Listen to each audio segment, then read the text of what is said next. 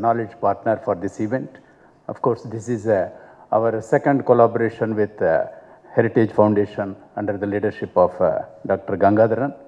For IFA, we were actively associated and also the team is a part of this activity.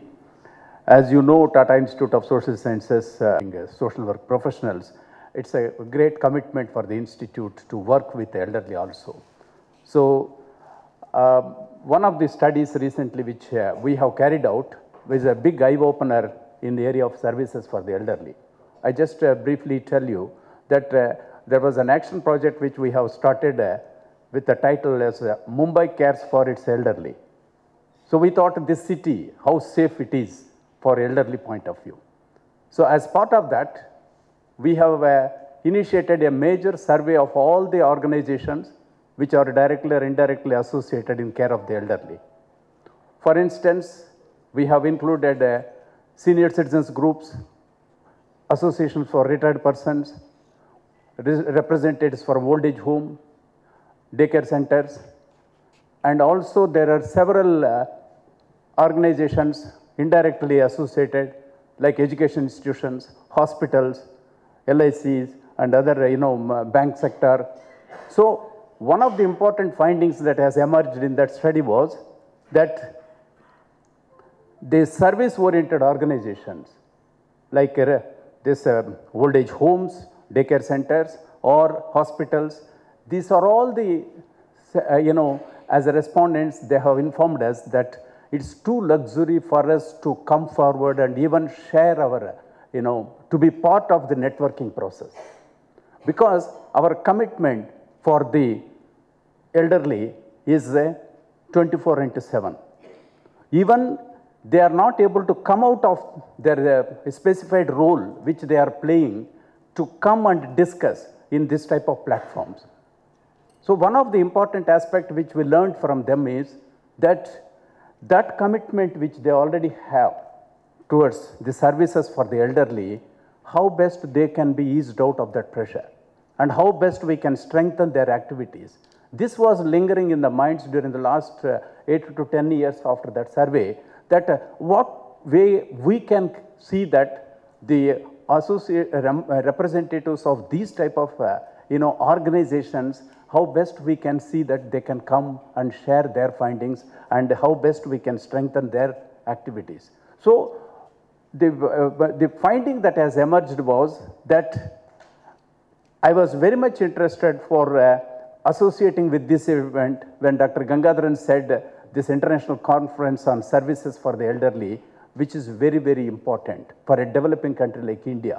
Furthermore, when this is uh, at a very infant stage, when we are working out how best we can have a networking of these organizations, how best we can create uh, some platform for these groups like that. So to that extent, I, I don't know what is my role, whether I can claim as a knowledge partner, whether it is a part of learning process.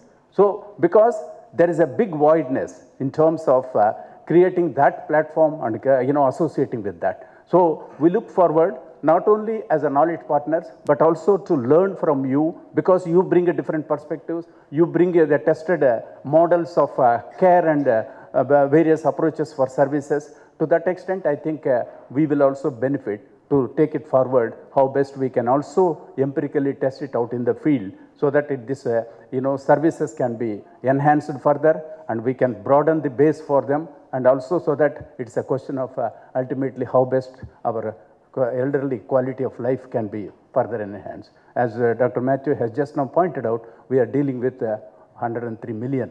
So this is a big question which we have to you know, address and time is running out. The population aging uh, projections clearly shows that uh, we are experiencing almost uh, double the growth rate compared to general population growth. So that means aging is here and it's uh, very much accelerated. So we have to take it in that sense. And uh, given this background, I am very happy to inform you that uh, Dr. Nidhi Gupta, he is here, most of you are aware of. So we have placed her for, you know, most of an, a full time to carry out, to go through the abstracts and to work it out the program schedules. And uh, we have a very, uh, you know, uh, uh, four or five other members.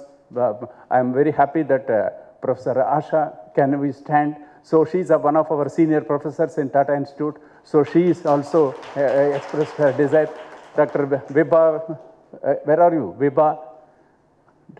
Yeah, Vibha is here. The Chitra, Chitra, yes. Dr. Anil, yes. They are all our young team.